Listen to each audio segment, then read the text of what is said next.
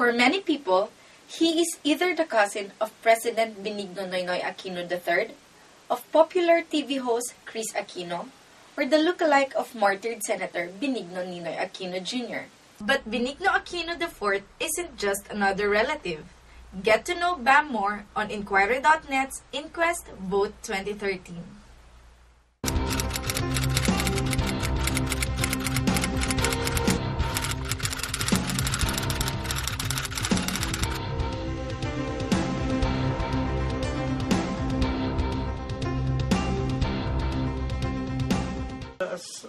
From the family name, Opo. actually, which actually gives you an advantage, Opo.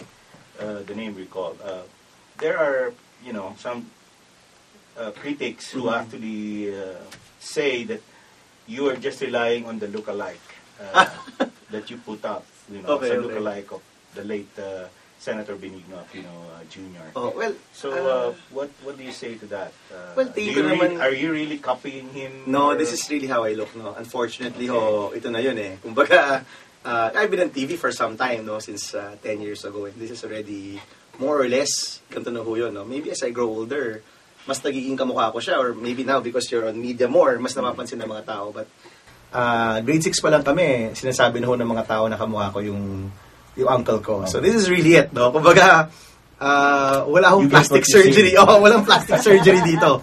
Uh, this is it, no? Okay. Um, but um, with regard to name recall, at this point po kasi everybody has name recall eh. Yeah. Kung tutusin na 11 days left, um, the other senators, senatoriables who are running are either incumbents, re-electionists, also coming from political families or uh, you know um, very well-known names. So at this point, palagay ko parang nagpapatas-patas na rin yan eh. Uh, so, you know, uh, palagay ko naman po, our voters can, of course, pang paano yan eh, pang, uh, as I always say, pang katok yan sa puso ng mga tao. You know, your last name or your association with your family members. But kung papapasukin ka o hindi sa mga puso nila, kung boboto ka o hindi, that will depend on your own track record and what uh, they think you can offer to them, no? Bam, you've been uh, projected as something like a man in a hurry. Uh, you're one, of, if not the youngest uh, candidate in the Senate uh, for this year's election. Opo. Uh, who is really Bam Aquino and why is he in a hurry? Uh, and that's a that's a pretty big burden no to to be the youngest in the slate kasi dala-dala mo yung hopes and dreams of a whole generation no? Mhm. and you hope that you can represent your generation and the younger generations Yeah. well and um, uh, being the youngest and running for this position of course people think you're you're in a hurry. But kung tutusin ho uh, I don't look at myself as being in a hurry no. I think in all the different places where I work I just really try to do my best and do my share. Yeah. and um, and uh, buti naman po na we were able to excel in those areas no. But um, it's not really about being in a hurry kasi kung tutusin when I left um, sorry when I left school my first job was working for the ABS-CBN Foundation? I worked as the volunteer head of Bantay Bata and Bantay Kalikasan.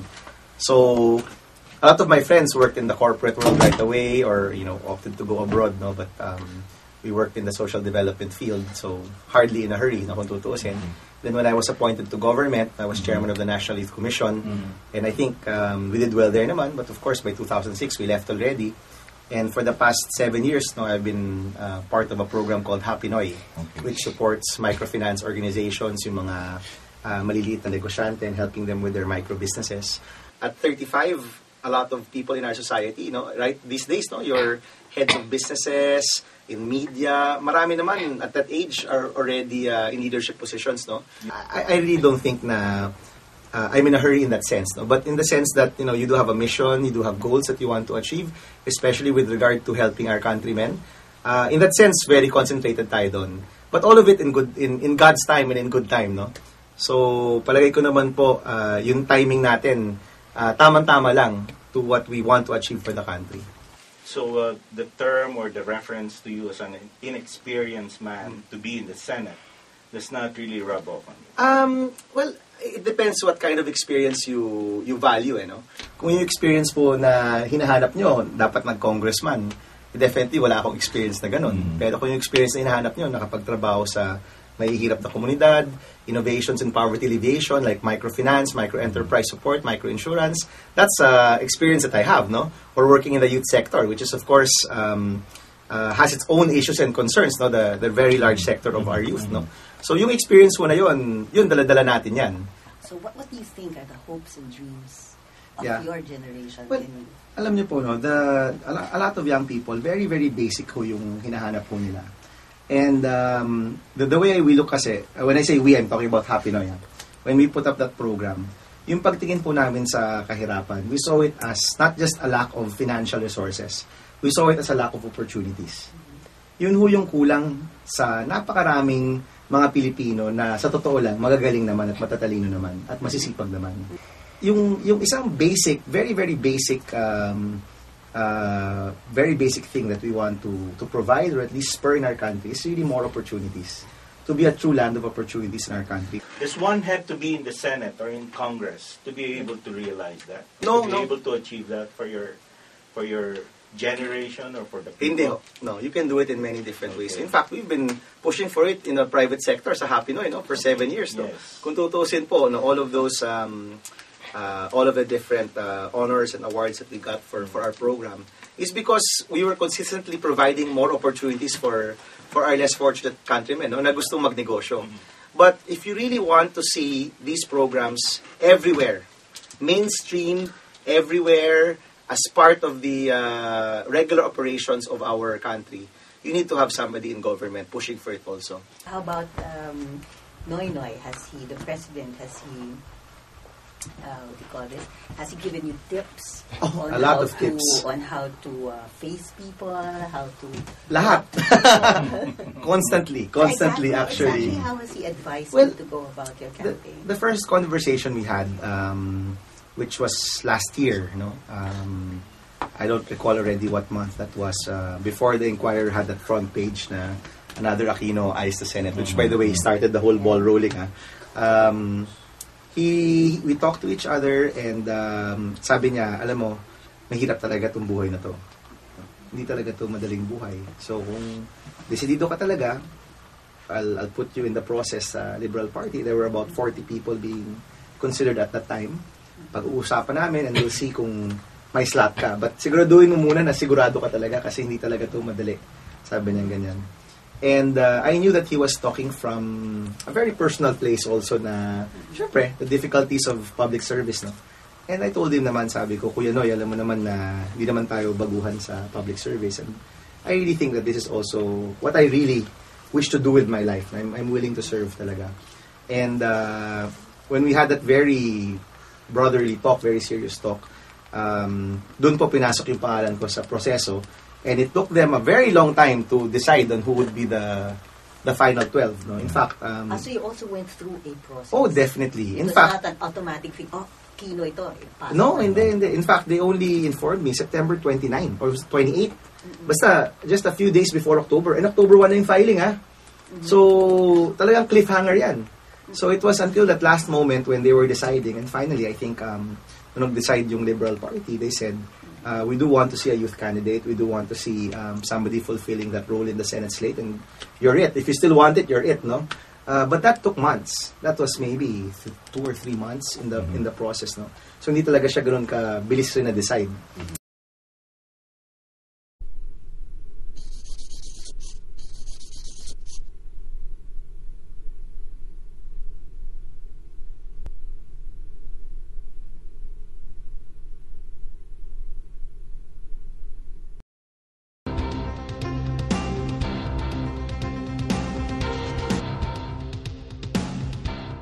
if you were to draft a legislation, a Yes. piece of legislation, will you consult the people concerned? Will you discuss things with your wife?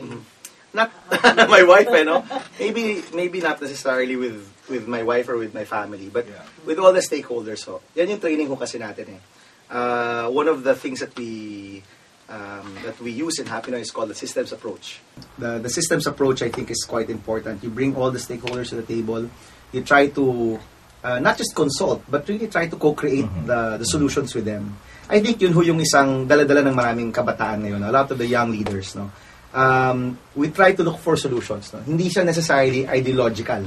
na kailangan ganito. Kasi yung paniniwala ko, ganito, kaya kailangan ganito yung solusyon. You actually work from the ground up. You bring all the stakeholders on board. You create solutions together which can um, help all the different stakeholders and you all grow. Hindi kinakailangan na one has to grow for the other to suffer. And uh, that's what we employ in our our program and hopefully in creating laws we can still apply that. No? At makita natin na kung meron tayong natutulungan ng isang grupo, dapat walang nadedahado na ibang grupo. How do you see yourself? I mean, you're what, number six now in the survey? And it, Hopefully, mapagpatuloy ho yun. oh, so it's practically there, almost there. You're almost there. And when you get into the Senate, what role do you envision yourself to play as a senator? Well, two things, no. Um, hopefully, we can represent the the younger sector, no. Kumbaga ho, that's the largest sector right now in our Philippines, in the Philippines, no, in our country. So, kumbaga po, ah, kung mayroong mga batas, mayroong mga pulisiya, siguro po may kailangan bumabantay para siguradong paboryan sa sektor ng kabataan, number one. Number two, to really push for reforms that can help the poorest of our countrymen. Kasi yan na po yung trabaho natin, no? I'm a social entrepreneur, no? That's really what we what we do. And hopefully, we can see more policies that can help uh, the majority of our countrymen who need the help, no? I hope that I can do my share, no? Yung role na, at least sa legislation, sa policies, um, to be able to create these programs that can really help most of our countrymen. Yun ho siguro yung role na gusto ko po nating gampanan sa Senado. What is your take? Because we all know that technology has Mhm. provided opportunities for wi- a wider Yes. information highway. What's your take on the FOI? It should be passed. Should be passed. And I think freedom of if, information. Yes. if um, most of us in Team Pinoy get there next uh, Congress, I think most of us will pass it. Mm, so it's something that you're going to push for when you become senator. Well, um, it was almost there in the last uh, Congress, no? I think ito isa ho yan sa mga mapapasa before the end of Pinoy, before the end of his term, no? Mapapasa po yan. What about uh, uh, bills on divorce, same-sex marriage? Well, I'm not in favor of divorce. Uh, sa same-sex marriage, so maybe we can start the discussion on civil unions, no? Mhm. Um, but uh, a lot of these um, bills, I think, at least para sa akin, very clear-cut naman yung, yung side ho natin dyan.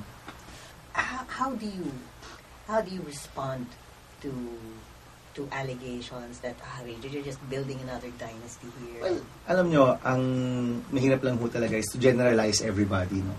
Nobody wants to be generalized, no? Um, and in general, you know, once once you make something in general, you miss out on the nuances, which sometimes make all the difference. No?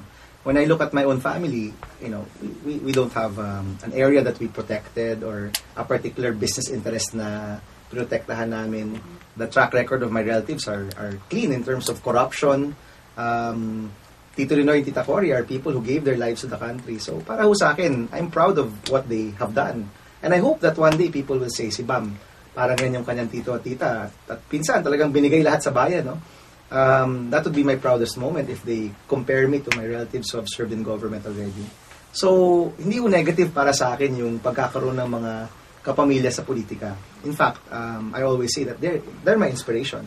And if I'm able to lead properly, it's because, you know, yung katapangan ni Tito Ninoy, yung, yung um, simple life ni Tita Cory, yan yung mga susundan natin. And the stubbornness of the president when it comes to reform issues, no? I think those are things that we, we should be proud of and can emulate, no? Now, um, so in that sense, so I don't really think of ourselves, at least my family, as a political dynasty in the in, in the strictest sense. No? But um, of course, a lot of people are clamoring for the definition of what a dynasty is, and if there are discussions, I will engage in those discussions and maybe, hopefully, come up with a definition what a dynasty is finally.